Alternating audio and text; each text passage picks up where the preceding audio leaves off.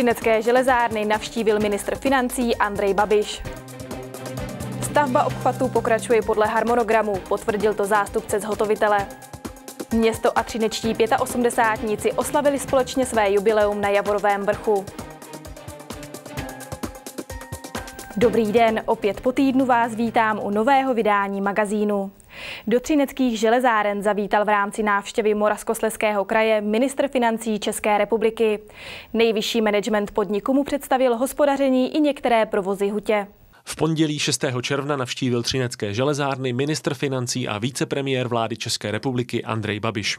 V první části návštěvy společně s vedením podniku schlédl některé provozy třineckých železáren. Pan minister měl zájem o ty samozřejmě těžké provozy, aby viděl, v jakých podmínkách vznikají ty eh, hodnoty třineckých železárnách, takže eh, jsme ho zavedli na kyslíkovou konvertorovou ocelárnu, prošli jsme kontilitím a následně jsme mu ukázali kontidrátovou trať. To v té, řekněme, tři čtvrtě hodinové rychlosti bylo to maximum, co jsme byli eh, schopni vidět. Poté se delegace přesunula na prostranství prostranství před hlavní jídelnou, kde ministr pohovořil se zaměstnanci. Já jsem strašně rád, že Třinecké železárny jsou firma, která má jasnou vizi a má zodpovědné akcionáře a vlastně před deseti lety se rozhodla jít správným směrem a, a je úspěšná. Bych dokonce řekl, že Třinecké železárny jsou asi nejúspěšnější firmou regionu. Ve svém obsáhlém projevu k zaměstnancům ministr nejvíce hovořil o zefektivňování hospodaření státu,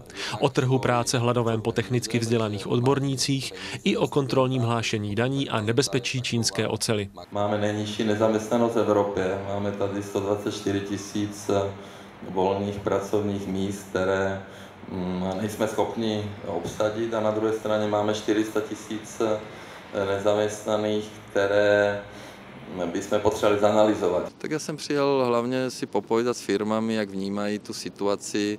My máme dneska nejnižší nezaměstnanost v Evropě, jestli mají do zaměstnanců, eh, kde, co jich trápí. Velkým tématem ale byla také situace kolem společnosti OKD a její možná řešení. Priorita je, aby OKD vlastně fungovalo dál, aby se pokračovalo v těžbě a e, myslím si, že přirozeně e, jsou tady firmy, které by měly mít zájem de facto do ty, do ty firmy vstoupit a jednoznačně si myslím, že Třinecké železárny jsou nejstabilnější firma, je to největší zaměstnavatel, nejvíc vlastně profituje, prosperuje, má jasnou strategii, takže vidím Třinecké železárny jako perspektivně možného uchazeče na, na koupu aktiv OKD, aby se tady eh, vlastně udržela ta těžba a udržela samozřejmě zaměstnanost. Pro pana ministra to byla vůbec první návštěva třineckých železáren. Na rozloučenou dostal od vedení podniku věcné dary, knihu fotografií a goralskou čupagu. Prosím pěkně, čup, čupaga, to je tady v tom našem nářečí. A abyste věděl, není to na prostě eh, odhánění vlku nebo něco podobného. Je to na ty, na, na koaliční radu. Jako je to na ty, co nechtějí platit daně. Poté ministr pokračoval v další etapě návštěvy Moravskosleského kraje. 26. května se na ministerstvu dopravy v Praze sešla pracovní skupina zabývající se stavbou přeložky silnice 1.11. Vede náměstek ministra dopravy Kamil Rudolecký, který 27. května zavítal do Třince na slavnostní otevření zrekonstruovaného třineckého nádraží. Starostka toho využila a pozvala jej i k náštěvě stavby obchvatu Třince. Datum a čas pátek 27. května 13 hodin, místo Třinec Karpentná, stavba obchatu silnice 111. Zde se scházejí starostka Třince, náměstek ministra dopravy a jeden z obyvatel Vendrině a bývalý ředitel třineckých železáren. Ten byl jedním z iniciátorů stavby před více než 15 lety. Já si pamatuju setkání česko-polsko-slovenské, kdy na jedné straně seděli úředníci z ministerstva dopravy, ale to bylo dávno, to byl rok 2000 a nějaké drobné. A kdy vykladali a uvaděli nějaká čísla, jaká je tady kadence, frekvence eh, projížděných, přejížděných eh, automobilů nakladních a osobních a operovali s čísly 6 tisíc za den. Jo. Já jsem je vyvedl z míry, nebo z omilu, že to bylo 12 tisíc za den a dneska se to pohybuje kolem 30 tisíc. Čili se tehdy, v této době vycházelo úplně ze špatných východisek, ze špatných údajů a podle potom podle toho se špatně rozhodovalo, čili necítili tu akutnost. Přišel rok 2006, samozřejmě byl to bod rok zlomový, kdy měla být jedna lomeno 11 cesta ramena kříže Sleského hotové. To se nestalo, protože ta příprava neběžela tak, jak měla běžet.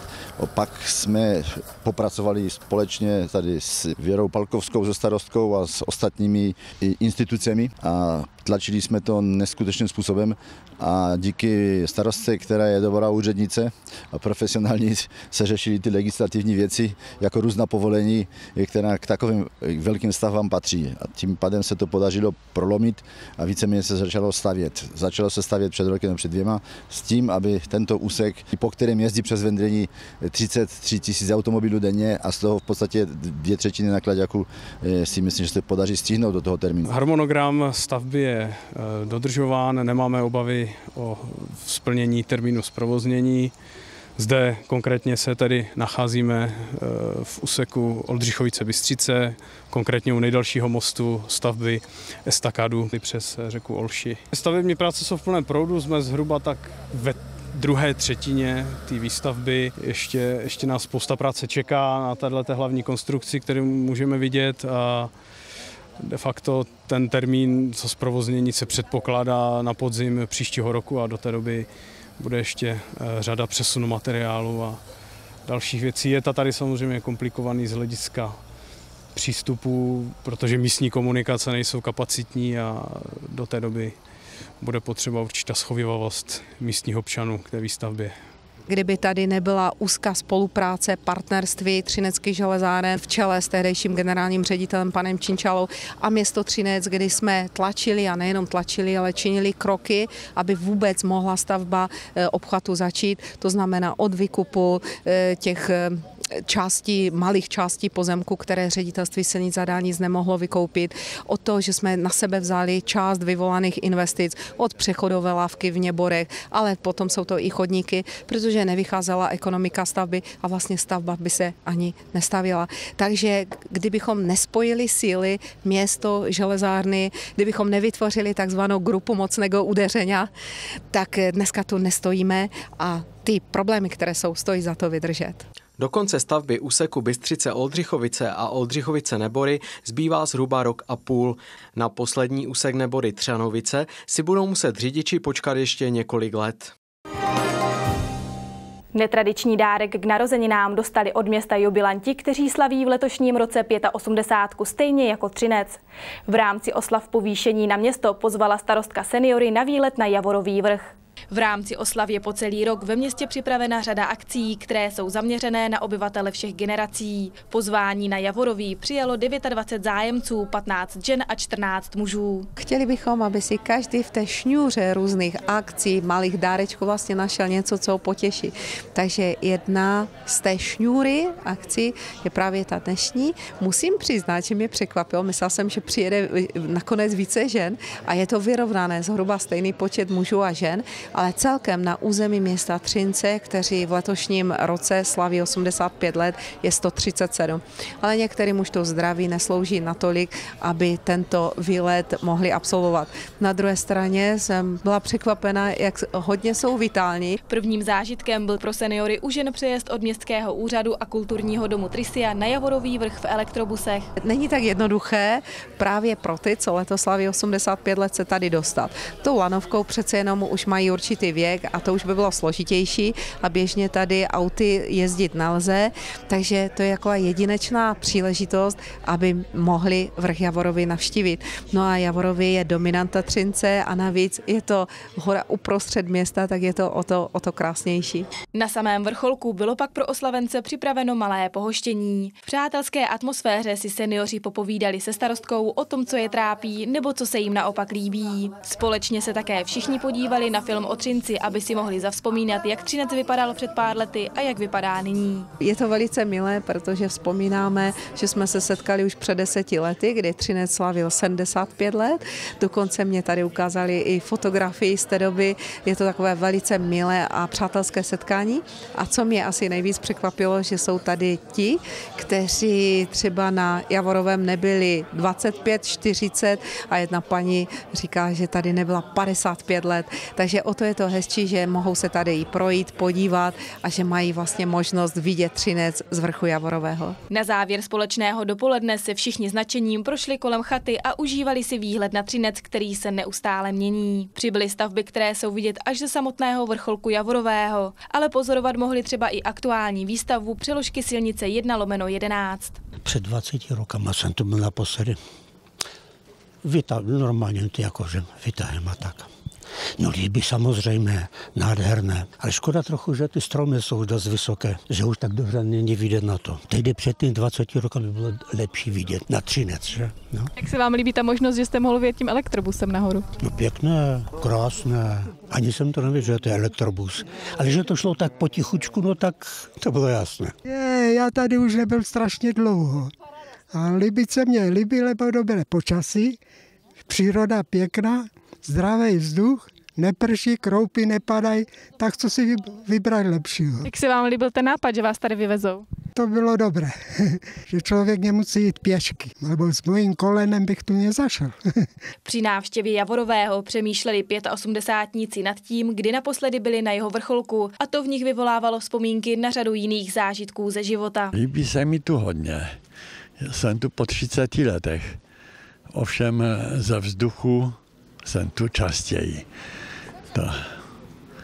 Takže jsem jeden z těch, co v Třinci stavěli letiště. Před 66 lety, čili po maturitě v roce 51. října, dole Olcikovice Ves, že ta škola. Tak to je moje první štace, čili jsem měl 19 roku. No. Všichni oslavenci, kteří v našem městě jsou, ať už vědomně nebo nevědomně, tvořili historii našeho města. Někteří z nich se ani nenarodili v Třinci, ale strávili tady většinu svého života. V Třinci jsme od 53. roku. Manžel dostal umístěnku do Třince, já jsem z Vratimova. Nic mi tu nechybí. Mám tu děti, mám tu vnoučata, pravnoučata ještě zdraví trošku, kdyby bylo, tak super. Já to beru všecko tak sportovně. Společná fotografie zakončila výlet jubilantů na Javorový vrch a všechny pak opět elektrobusy odvezli do Třince. Za naši redakci přejeme všem 85níkům především zdraví, vitální a pozitivní přístup k životu, takový, jaký všichni z návštěvníků Javorového měli a u oslav zůstaneme i v následujícím příspěvku. V letošním roce jubilejní Masarykova škola v Třinci slaví stejně jako naše město 85. narozeniny. V rámci oslav jubila škola uspořádala také tématickou školní akademii. V den 80. narozenin Tomáše Garika Masaryka 7. března 1930 pan prezident dal svolení, že nová třinecká škola smí nést jeho jméno. Na stejný den se symbolicky datuje začátek historie nynější jubilejní Masarykovy základní školy. 7. března byl položen základní kámen a už 16. března téhož roku se začalo s výstavbou školy. Ta byla ukončena v červnu roku 1931 a první školní rok začal v září v roce 1931. V roce 1937 měla škola 419 žáků, což je vlastně stejný počet, jako má naše škola v současnosti. Během 85 let působení Masarykovy základní školy v Třinci zdejší výuku absolvovali tisíce dětí. Mnozí z nich později do školy přivedli také svoje potomky, někteří i své vnuky.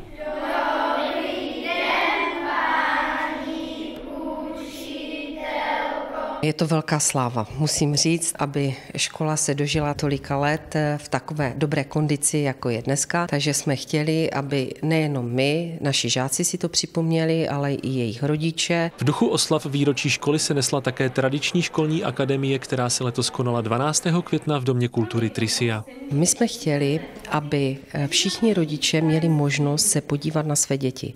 Tak eh, jsme veškerou tu píli eh, namířili na slavnostní vystoupení vystoupení, kde vlastně budou vystupovat skoro všichni žáci. Chtěli jsme, aby rodiče hlavně se přišli podívat, co se ve škole děje, jak to v té škole vypadá, no a hlavně, aby se přišli z hrdosti podívat na ty svoje děti, aby si mohli říct, a to je moje dcera, to je můj syn. V bohatém programu školní akademie vystoupili téměř všichni žáci. Skoordinovat program bezmála čtyřstovek účastníků byl nelehký úkol, ale povedlo se to. Máme to formou vysílání ze studia. Budou to moderovat čtyři moderátoři a k tomu nám bude pomáhat večerníček. Mateřinky si připravili své vlastní vystoupení, do toho jsme jim nezasahovali, ale první stupeň si připravil v rámci večerníčkovské tématiky. Vystoupení budou tam ferdové, cvičí tam taky včeličky, potom tam bude taky kromě jiného sportovní cvičení, to už budou mít ti starší.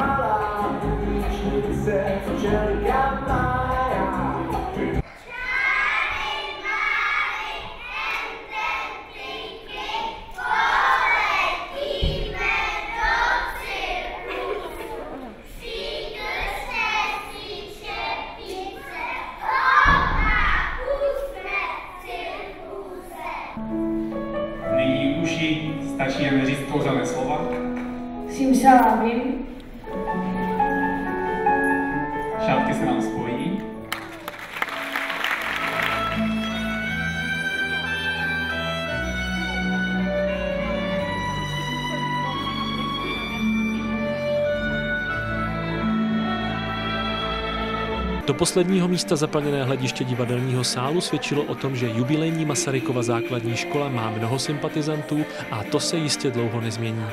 Do budoucna bych škole přála, aby po chodbách zněl pořád jenom smích a slzy, které tam vytrysknou, jsou pouze slzy štěstí. Chtěla bych, aby škola pokračovala ve vytýčené cestě, aby jí v tom všichni pomáhali, abychom dělali čest svému jménu, svému městu, svému regionu. Park za budovou základní umělecké školy v Třinci bývá pravidelně na konci školního roku místem setkání žáků všech oborů této školy. Tak tomu bude také letos, přesněji ve čtvrtek 16. června, kdy se toto setkání uskuteční od 15 hodin pod názvem Hrajeme si za školou. Možnost předvést své umění zde budou mít žáci hudebního, výtvarného, tanečního i literárně dramatického oboru. Zahrají a zaspívají solisté, vystoupí soubory i hudební kapely.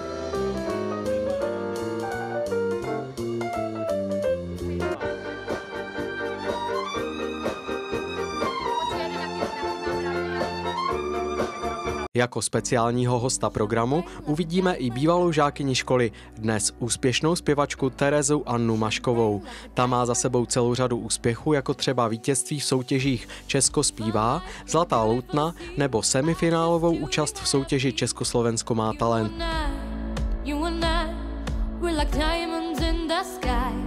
You're a shooting star, I see visions of ecstasy. When you hold me, I'm alive. Před dvěma roky se Tereska zúčastnila prestižní přehlídky World Championships of Performing Arts v Los Angeles, kde ve finále vybojovala zlatou medaili za provedení muzikálové písně. Na akci Hrajeme si za školou zaspívá se svou kapelou. Muzeum třineckých železáren a města Třince vás srdečně zve v pátek 24. června na muzeální léto s podtitulem Z pohádky do pohádky. Připravený bude celodenní program. Skupina historického šermu a tance rytíři svatého grálu předvedou kombinované ukázky samostatných soubojů, historizující tance, rytířské hry pro děti a turnaje. Připravená jsou divadelní loutková představení, vystoupí také talenty základní umělecké školy a nebudou chybět ani dílny pro děti. Městská knihovna Třinec pořádá v sobotu 18. června oblíbený pohádkový les. Letošní ročník provede rodiny středověkým královstvím. V lesoparku budou k vidění veselí kejklíři a komedianti, stateční rytíři, krásné dvorní dámy a samozřejmě král s královnou. Děti se mohou také těšit na originální dárečky a dobroty. Na rozdíl od loňských ročníků si přijdou na své i starší děti a pohádkový les bude bavit všechny generace. Prodej vstupenek byl již zahájen v infocentru Třinec a knihovníci i letos doporučují doporučují zakoupit vstupenku na předem určený čas. Připravili jsme pro vás další díl pořadu na návštěvě u sousedů. Uvidíte třeba motokrosové závody v Češině, závody paraglidistů v Žilině nebo běh do schodů ve Strečně. Na návštěvě u sousedů vysíláme po těšínských křesťanských minutách nebo na našem webu. To je ze společenské části magazínu vše. Nyní je na řadě sport s kolegou Marcelem. Mějte se hezky a brzy se na vás budu zase těšit. Na viděnou.